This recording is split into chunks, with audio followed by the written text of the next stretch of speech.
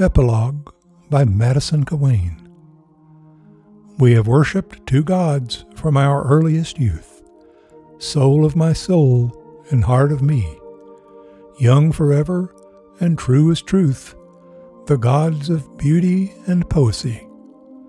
Sweet to us are their tyrannies, sweet their chains that have held us long, for God's own self is a part of these part of our gods of beauty and song.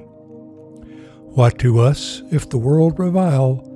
What to us if its heart rejects?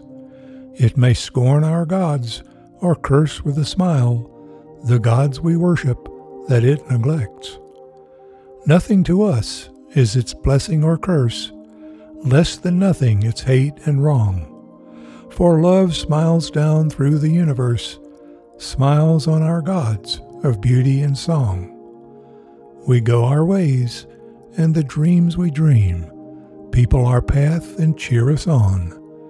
And ever before is the golden gleam, the star we follow, the streak of dawn. Nothing to us is the word men say, for a wiser word still keeps us strong. God's word that makes fine fire of clay that shaped our gods of beauty and song.